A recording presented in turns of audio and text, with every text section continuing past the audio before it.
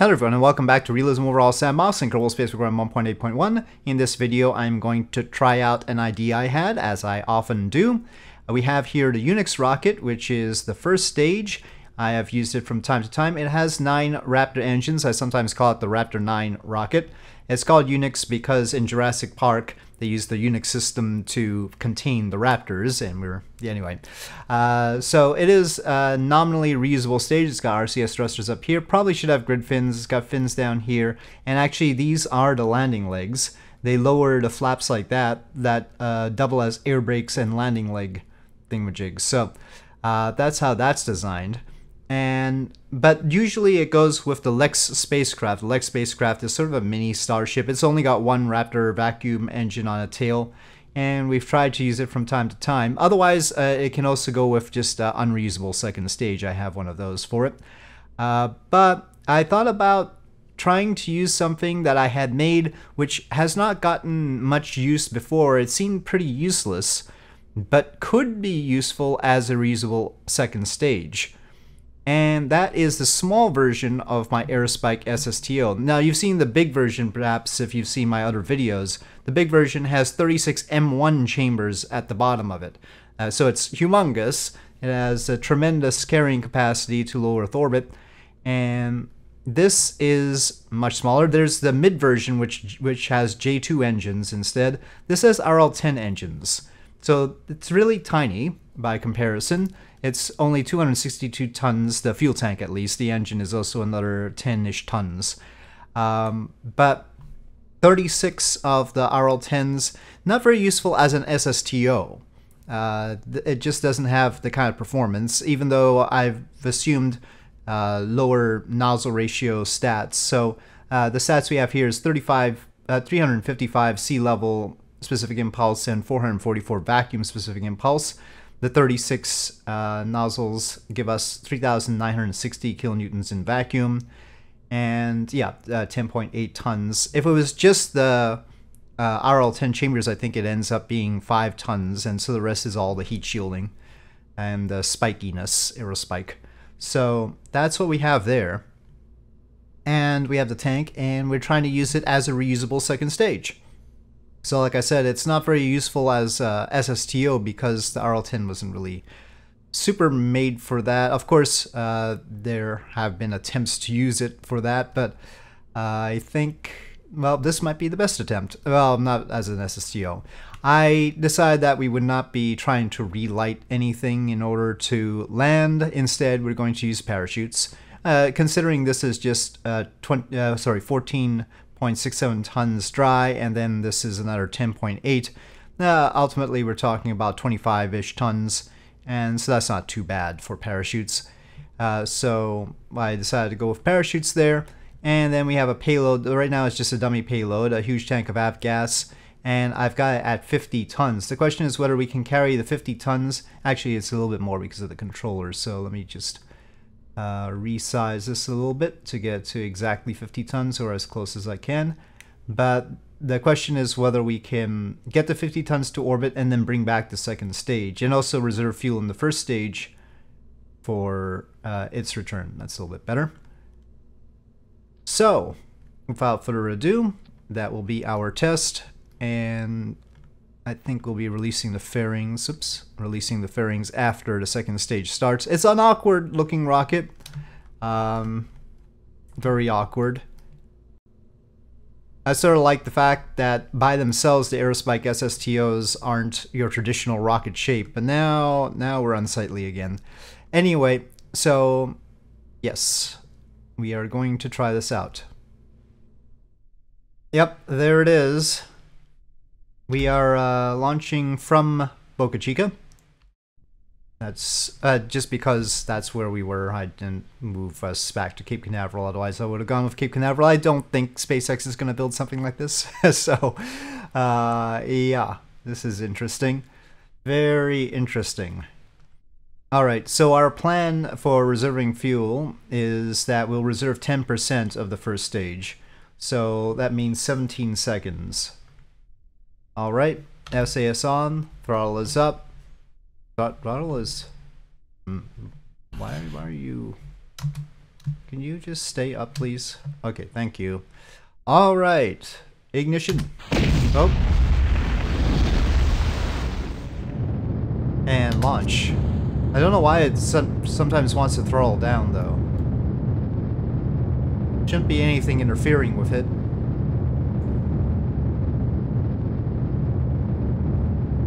Well, I don't think you've seen a rocket quite like this before.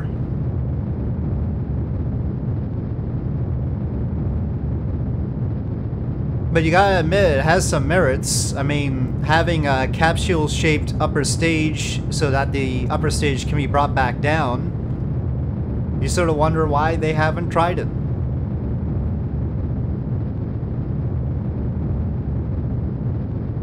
Except for the obvious aerodynamic issues in looks, but...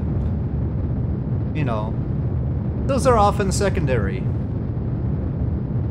I'm using the lowest stats on the Raptor engines, by the way. They could easily get more than this. We're only at, uh, I think, 2060 kilonewtons max on the Raptor sea levels, so...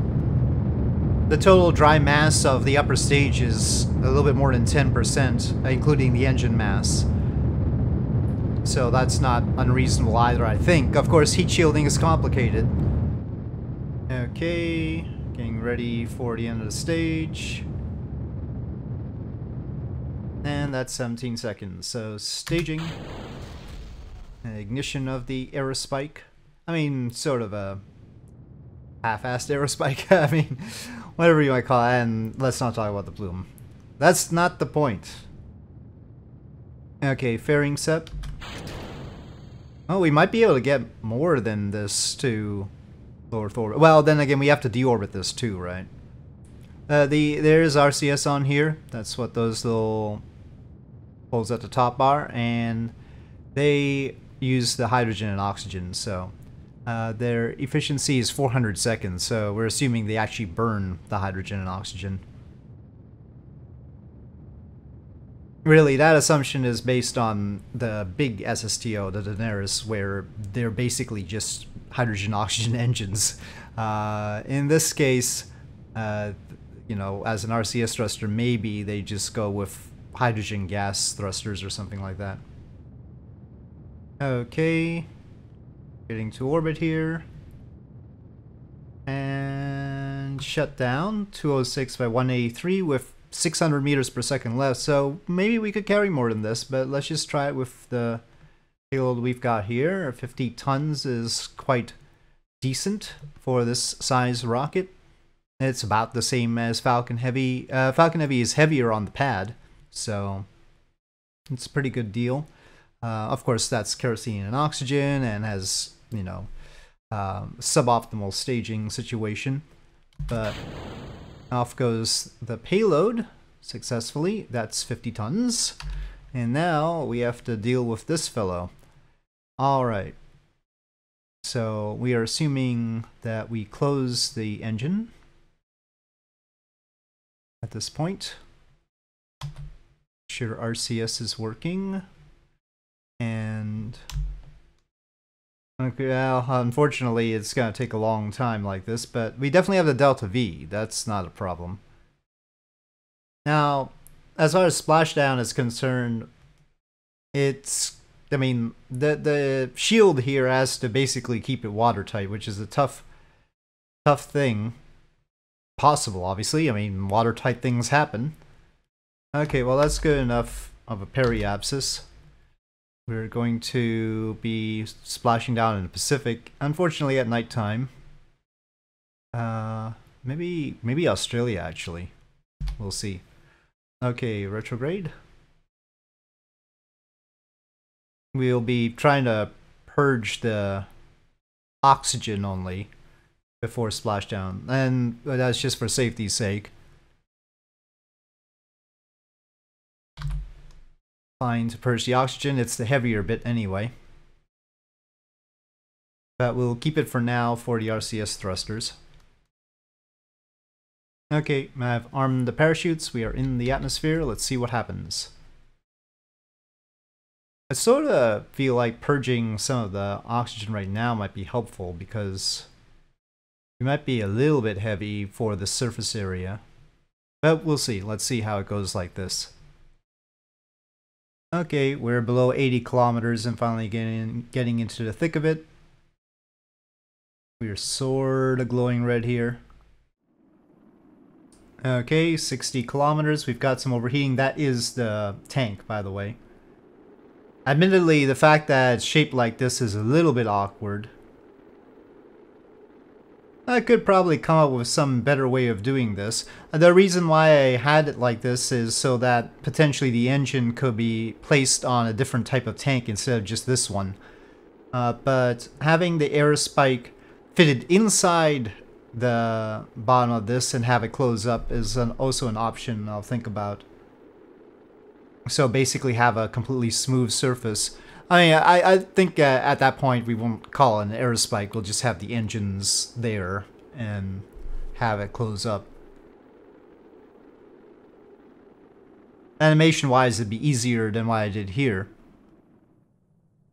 Okay, so we're through that. Didn't seem too bad. I'm now going to purge the oxygen. Okay, so we're at 29 tons. Okay, getting ready for parachute deployment. Out they go. And mind you, it's actually tougher to do this with hydrogen and oxygen than other propellants because hydrogen is not very dense.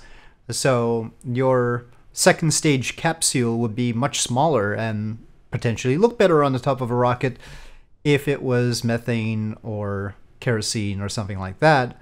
Uh, the downside, of course, is that you're probably not going to get the same kind of performance. You're going to end up with a heavier stage to get the same payloads to where it needs to go. And that has ramifications all the way down. So, you know, that might result in a stubbier first stage that looks more suited to a capsule shape upper stage. Could work like that. Okay, we are 6.6 meters per second. I'm sure Kerbal Buoyancy will make total sense as we splash down. Yeah, let's not talk about it too much. Now, if you if you want to like bring it down on some clamps or something, have like retro thrusters or something like that. I don't know, whatever. Uh, there are options. We had enough delta V left over to have some sort of propulsive landing situation, but splashdown is simpler. Yeah, there's that. The world is mostly water after all. So there you have it. Fully reusable rocket capable of launching 50 tons, and it's just a different idea. And I sort of like it better because I have trouble landing those stages and the starship and all the other reusable things. Uh, even the, uh, of course, the smart reuse idea or some sort of heat shield and parachutes, you know, having an engine cluster ditches the tank. So there, there's downsides to everything. But, you know, it's an idea. So there you have it. Thank you for watching. I hope you enjoyed this video. If you did, please do press like. If you have any comments or suggestions, please leave them in the comment section below, and I'll see you next time.